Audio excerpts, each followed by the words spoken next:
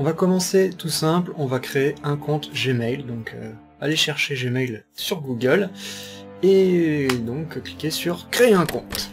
Donc là vous pouvez mettre votre pseudo, avec un autre petit bout, comme par exemple live, comme ça, hop, vous mettez un point pour séparer. Bien évidemment, moi de mon côté je vais pas ne, pas enregistrer parce que c'est pas grave de toute façon. On nous spécifie bien qu'il faut bien les dates et tout ça pour savoir euh, notre euh, notre âge, hein, juste pour connaître l'âge. Et nous avons aussi euh, accepté les règles de confidentialité. Donc voilà, pour une simple confirmation. Voilà. Donc nous avons Gmail qui apparaît. Grâce à ce Gmail, nous allons pouvoir le mettre en mode compact pour essayer d'avoir une petite optimisation quand même.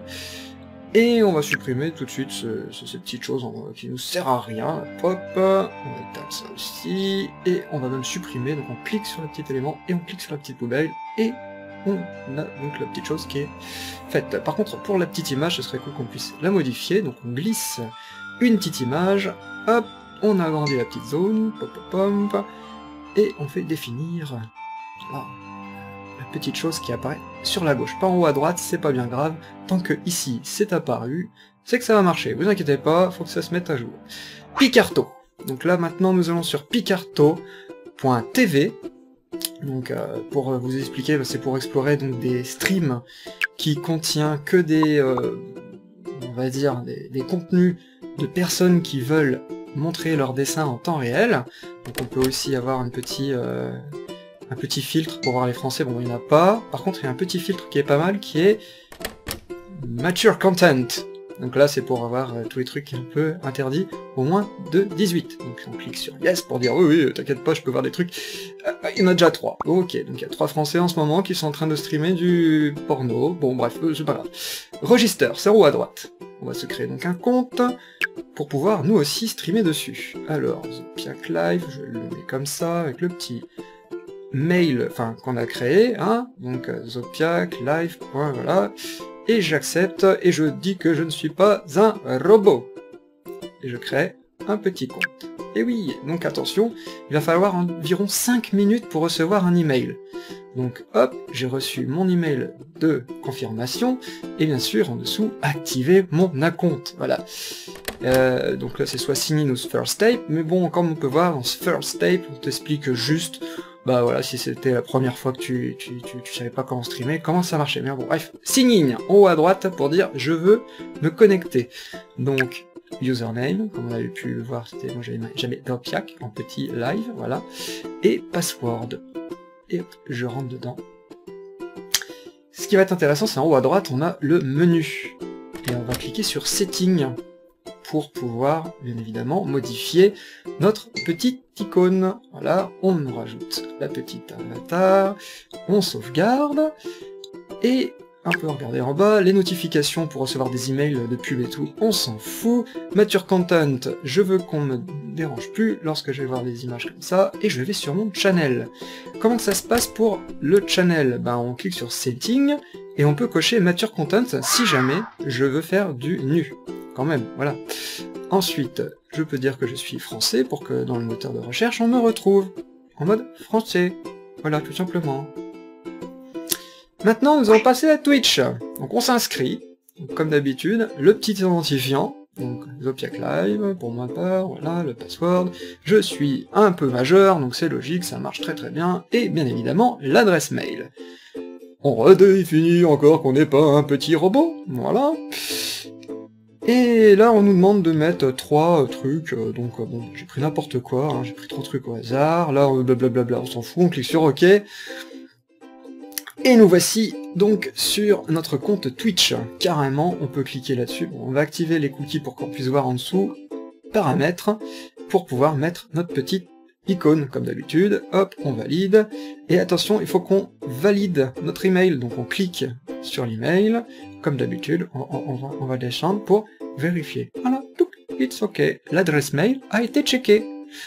On éteint cela, on revient sur Twitch pour pouvoir ensuite aller de nouveau dans le tableau de bord pour pouvoir mettre un petit titre à notre, notre chaîne, la catégorie art, parce que bah, on va faire de l'art, Et bien évidemment, on va essayer de mettre un peu français pour encore euh, les moteurs de recherche, si jamais vous êtes les francophones qui veulent.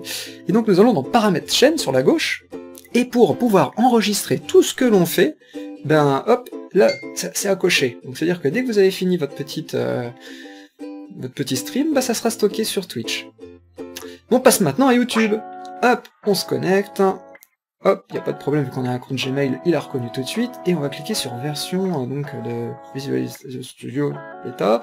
C'est la première fois qu'on vient dessus, donc il te demande de, de créer ça. Donc on reclique sur Creator Studio. Ok.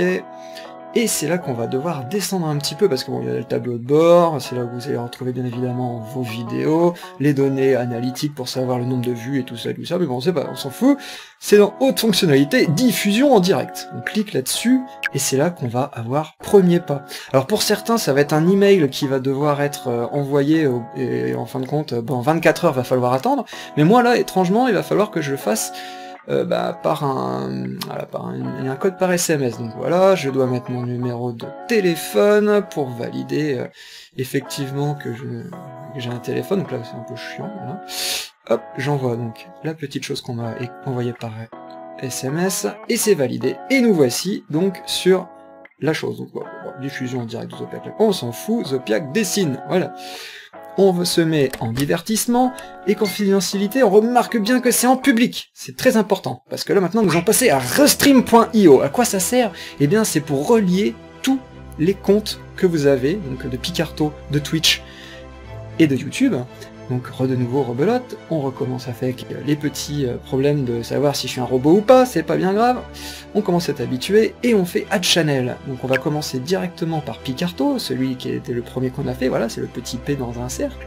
Et on fait Connect with Picarto. Bon bah faut une petite pub pour dire bon bah si jamais tu comprends pas, qu'est-ce qu'il se faut faire, bon bah on s'en fout, on clique là-dessus, et c'est parti, on re euh, s'inscrit et on autorise.